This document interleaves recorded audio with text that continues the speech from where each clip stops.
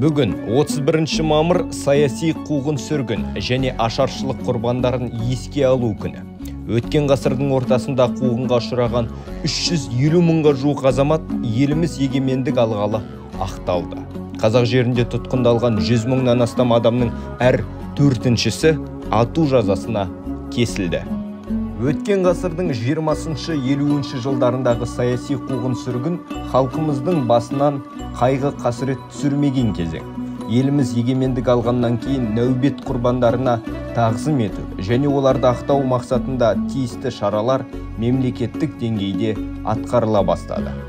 Мәселен тәуелсіздік алған тұста жаппай саяси қуғын сүргін құрбандарын ақтау туралы арнайы заң қабылданды. 1997 жылы елбасы жарлығымен 31 мамыр саяси қуғын сүргін құрбандарын еске алу күні деп жарияланды. 1928 жылы алаш қозғалысының белсенділеріне халық жауы мен ұлтшылдық айыптары тағылып тұтқындалған болатын жазықсыз атылғандардың қатарында әлихан бөкейхан ахмет байтұрсынұлы мұхамеджан тынышбаев міржақып дулатұлы тұрар рысқұлов мағжан жұмабаев сәкен сейфуллин бейімбет майлин темірбек жүргенов сияқты ұлт зиялылары мен басқа да көрнекті мемлекет және қоғам қайраткерлері бар. Солақай саясаттың сол жылдары отанын сатты деп айыпталғандардың әйел бала шағасы мен туыстары ал жерге қамалды. Ақмола лагері жауыздық пен қатыгездіктің қара таңбасына айналды. Жиырма мыңға жуық әйел қайғыға батып қасірет шекті. Мемлекет басшысы қасым жомарт тоқаевтың үндеуінде де бұл тақырып қозғалған.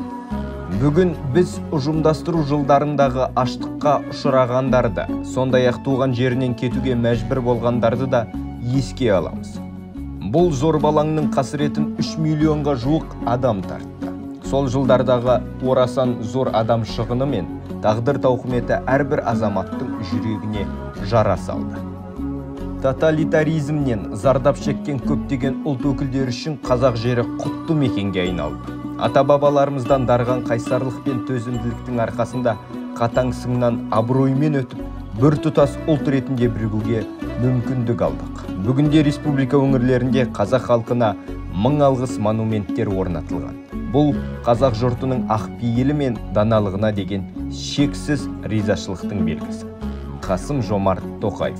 Қазақстан республикасының президенті. Жазықсыз жазаланғандардың әрбірін есте сақтау арқылы жарқын болашаққа жол ашылады. Жапа шеккендердің рухына тағзым ету перзенттік борышымыз деді мемлекет басшысы.